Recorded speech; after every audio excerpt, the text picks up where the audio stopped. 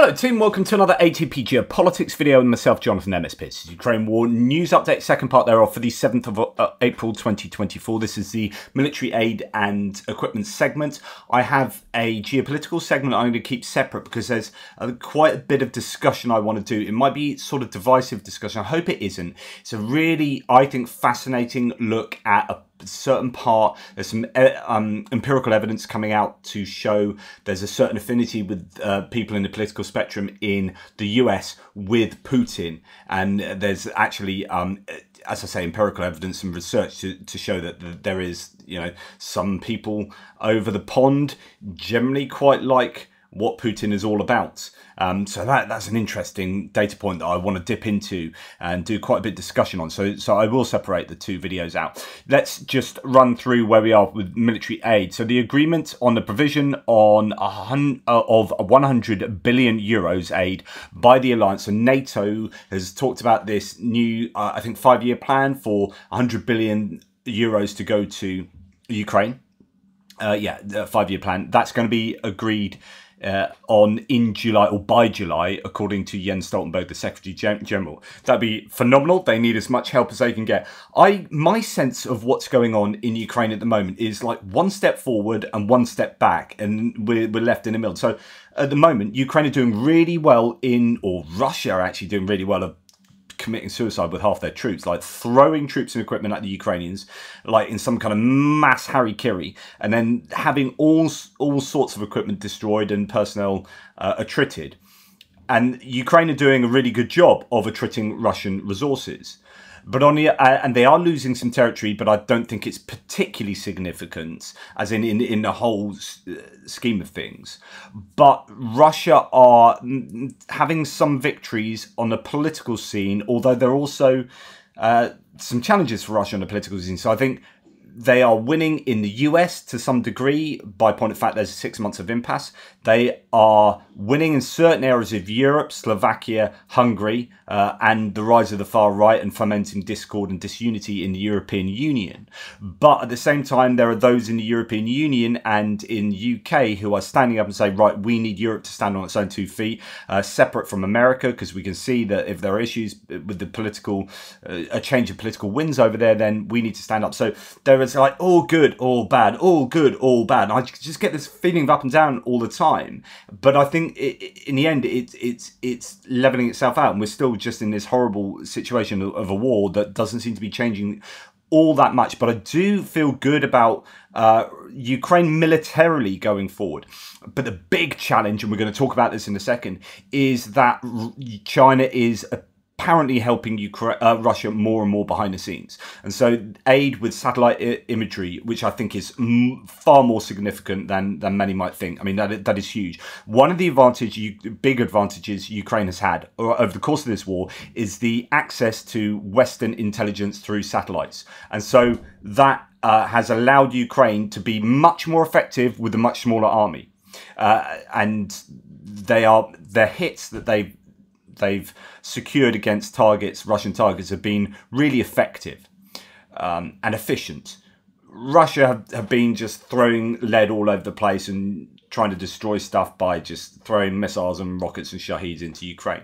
But over the course of the war, and much more recently indeed, we have seen Russia adapt and become much more effective in their strikes. So we can look at Kharkiv, we can look at the energy infrastructure. This year, two years after they were trying to hammer the energy infrastructure and didn't do a very good job, this year they've done it far less um, in terms of the number of missiles and Shahids thrown at the energy infrastructure, but have been far more effective. So, what explains that? And I, am absolutely positive it's the Chinese influence there. So, up and down, up and down. Uh, it's really frustrating because whenever Ukraine seem to get an advantage, they seem to be hamstrung by uh, the inability to and then it's not Ukraine's fault in this case, the inability to make good on those advantages because Russia manages to get around uh, their issues in some way.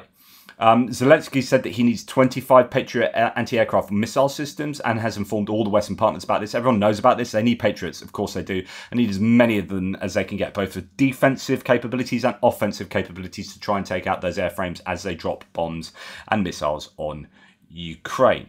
Now, talking about airframes, F 16s for Ukraine, the Netherlands have revealed timing and the quantity of plane deliveries to Ukraine, uh, to the Ukrainian armed forces. Quote In total, we are going to hand over 24 F 16 fighters. They will be handed over to Ukraine as soon as everything is ready. The moment depends on the training of Ukrainian pilots and technicians as well as infrastructure, according to the Dutch Defense Minister Kajsa Ollongren. Uh, really good news. Of course, they need as many of those as they can get, and in, indeed, there's a little bit of a of a worry. Zelensky on the fighter jets from allies has said in this year they will receive 10% of the required volume. So the Netherlands really stepping up there. But it, quote, if you fight in the sky, you have to fight and win.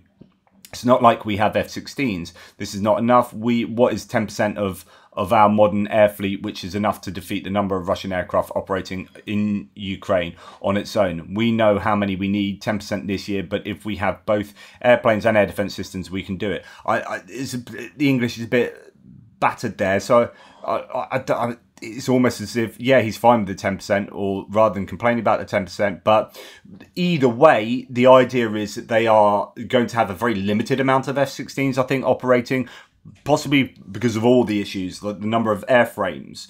I don't even know the capability of the airframes, whether they'll be up to up to scratch straight away. Uh, who knows? Um, uh, as in, you know, what's the range of their radars, what weaponry will they have on board, all that kind of stuff. But then it's uh, the technicians, uh, yeah, pilot training technicians and ground crew and everything and logistics. So that will gather momentum, I'm sure, as it goes forward. But the big challenge is what is Russia going to do to meet the the new uh, their own challenge of the F-16s getting into Ukraine. How are they, are they, going to absolutely hammer the Ukrainian air, air bases? And I'm absolutely positive they will. I think this is going to be a huge issue for the Ukrainians and how to stop the Russians um, really, you know, pouring a downer on the on the party uh, when it comes to F-16s.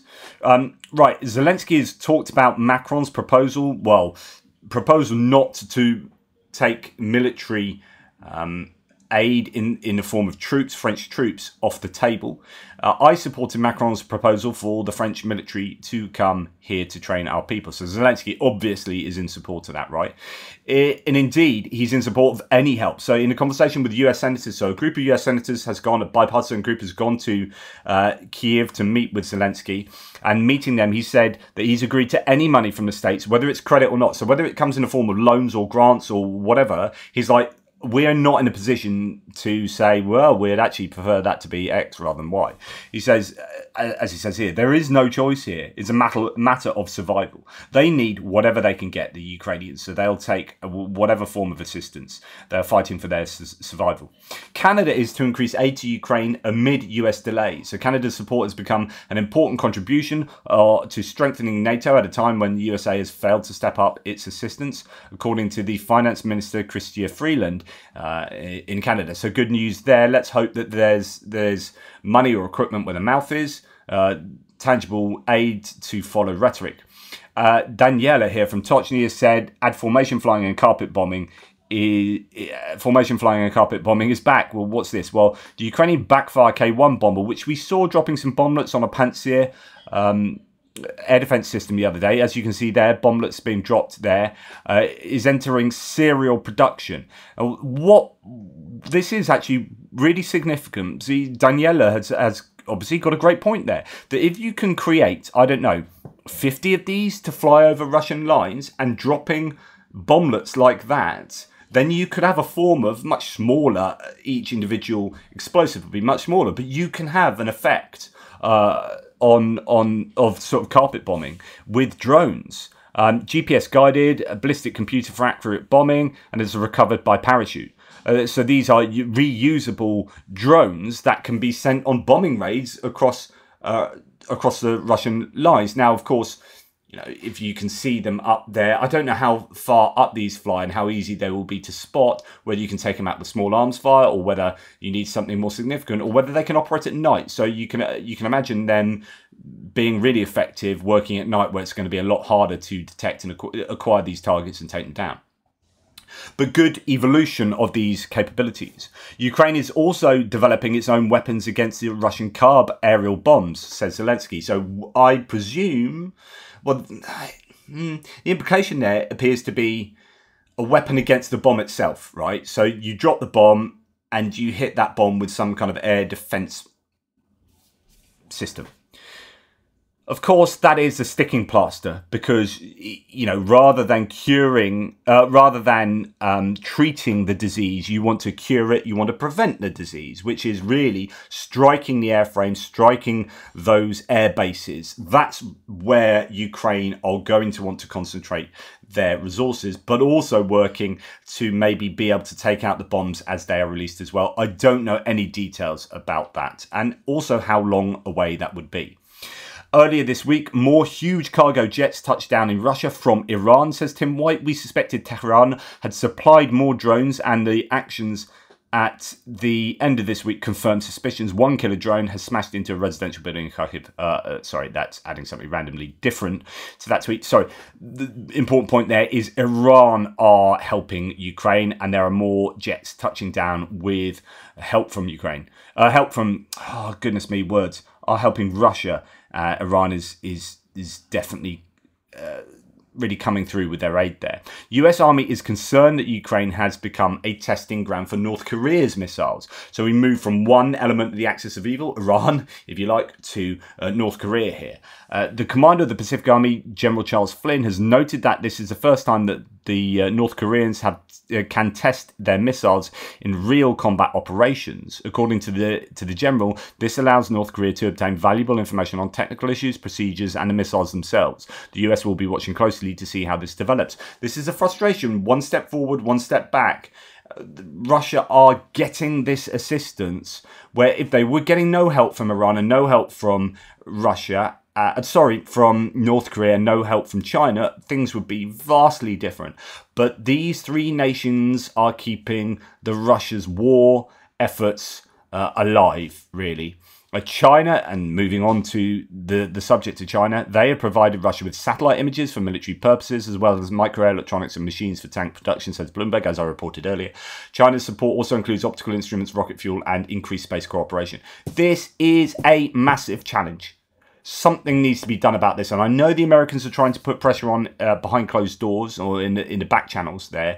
That really needs to happen because this can could under undercut. Um, undermine really all of the great efforts of allies to support Ukraine with equipment and with intelligence. Um, it's about keeping things asymmetrical. So Ukraine have this huge advantage with intelligence, but if Russia can keep pace with with uh, time sensitive intelligence and really good satellite imagery, then th- that that that really does level the playing field. Uh, and Russia's bombardments of the Ukrainian energy targets in recent weeks were larger and better planned than the attacks in the previous two years, knocking out generating facilities and limiting power supplies. That has made restoring equipment and protecting the key the grid key priorities for the government, even as it struggles to assess how much damage has been done. Uh, Bloomberg again. So this is again most likely a result of that kind of intelligence coming from Russia, ah, words coming from China, that is allowing Russia to to do much more effective damage to the Ukrainians uh, when they are, you know, throwing in their their missiles and shahids to Ukraine. It, this is a challenge that needs to be, I think, um, overcome. I don't know how you do that. I don't know how you can stop China sharing intelligence with Russia. I, I, mean, we can talk about economic pressure, but I don't know how much you could prove that they are or aren't.